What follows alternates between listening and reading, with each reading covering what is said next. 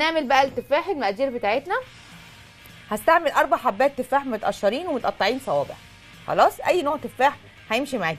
لو مزز بيبقى أحلى. ليه؟ المزازة مع السكر هتدي طعم حلو قوي. لو التفاح مزز هيبقى أحلى معاكي. آه، هستعمل كوباية نشا أو corn flour اللي موجود عندي. كوباية سكر معلقة كبيرة قرفة وشوية زيت عشان أحمر فيهم يبقى المقادير بتاعتي من تاني.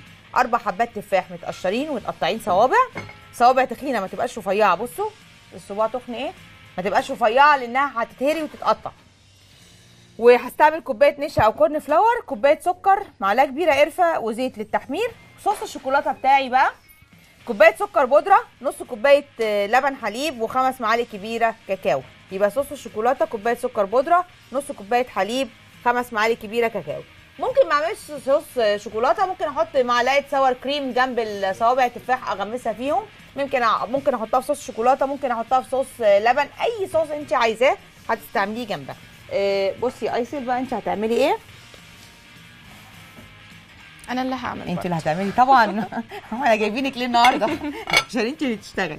آدي ال- النشا أو ال corn flour وهتغطي التفاح بيهم. يعني بصي كده أهو.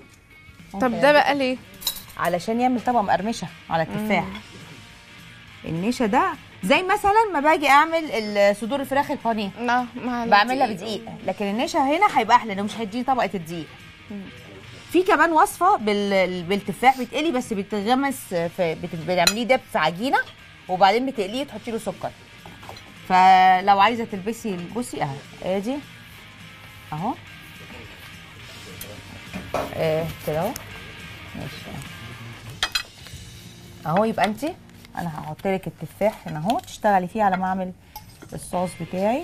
بصوا لو في حتت مستوية في التفاح مش مشكلة خالص بالعكس هيبقى طعمها حلو. الزيت لازم يبقى سخن علشان يعني لما التفاح يكون مستوي أكتر كل ده ما يكون أحلى صح؟ آه لا مش للدرجة دي يعني لغاية كده أوكي لكن ما تبقاش كلها مستوية هتفشفش معاكي في الزيت.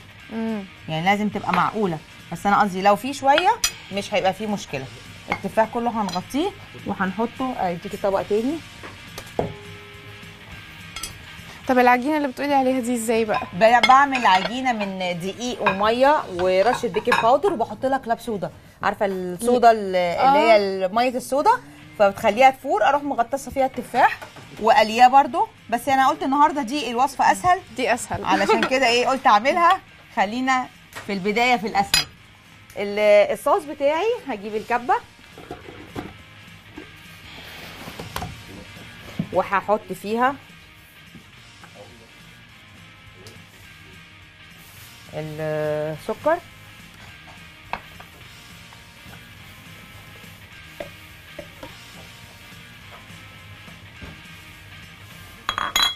والكاكاو.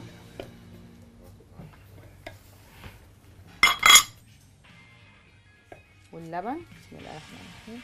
وبعدين بضربهم كلهم مع بعض. أنا بستعمل طبعا في اي صوص شوكولاتة بستعمل كاكاو خام. ما بستعملش الكاكاو اللي إحنا بنستعمله لل آه كاكاو خام؟ كاكاو خام. يعني ليه؟ كاكاو غامي من غير سكر عشان دي طعم الشوكولاتة. آه. لكن لو استعملت الكاكاو اللي بندوبه في اللبن مش هيديه الطعم ده خالص. حطي كمان. كمان؟ آه. يعني أنا لسه امبارح عاملة ليزي كيك آه الليزي فظيعة. بس برضه بالكاكاو الخام. آه لا أنا عملتها بقى بكاكاو عادي. عادي؟ ما لقيتش. طلعت- معاكي غامقه آه أهم حاجة طلعت حلوة. أهم حاجة حلوة. إيه عجبتهم امبارح؟ آه عجبتهم؟ قوي آه. بصوا أنا بحمر التفاح.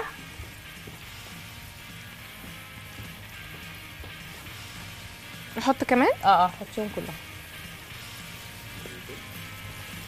كوباية ال- النشا دي أو ال corn flour بتغطي لي من أربع لخمس تفاحات. آه أدي اللازانيا بتاعتنا خلصت.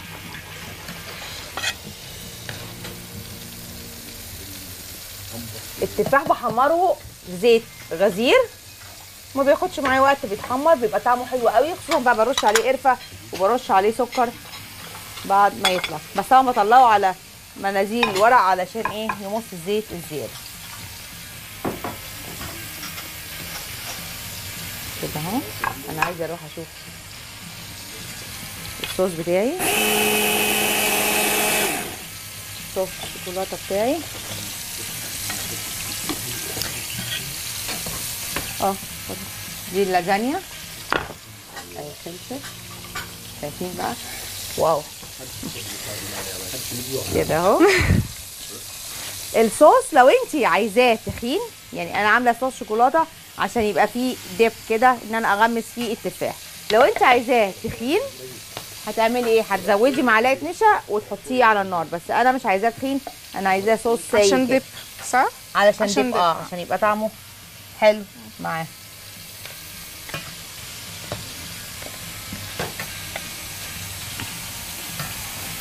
ما شاء الله عليك مش جاية معايا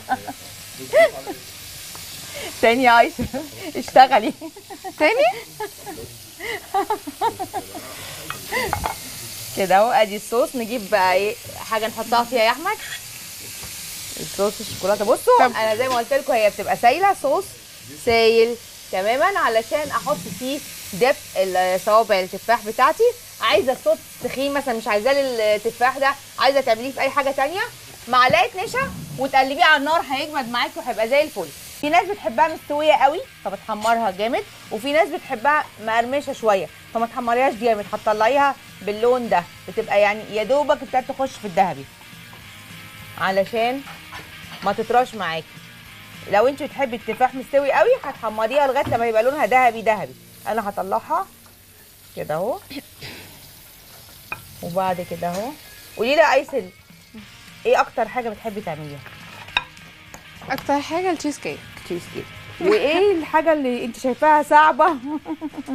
الحاجة اللي شايفاها صعبة ومش هتعرفي تعمليها. الناس كتير. بتفتكر التشيز كيك صعبة. لا التشيز كيك أنا كنت فاكراها صعبة بس طلعت مش صعبة خالص. أو أنا عشان بحبها يعني. آه. فبحب أعملها. إحنا بنرش سكر بودرة وقرفة عليها. كده أهو وبعد كده هقلبها بالراحة. بصوا. طب سؤال بقى هو مم. ممكن بدل التفاح ده أي حاجة تانية؟ أي حاجة ما ينفع تتقلي. يعني ممكن تعملي أناناس بس ما ينفعش ما ينفعش مثلا تعملي مانجا ممكن تعملي موز. ال Far East بي- بيحمروا الموز. فحسب أنت الفاكهة هتستحمل معاكي القلي ولا لأ. كده أهو وأرجع أحط. شوية قرفة وسكر بودرة. كده أهو. ونغطي برضو الطبق بالقرفة كده يبقى شكله حلو. عشان ال decoration كده اهو. ادي هنقدمها جنب ال dip بتاعها أو صوص الشوكولاته بتاعها.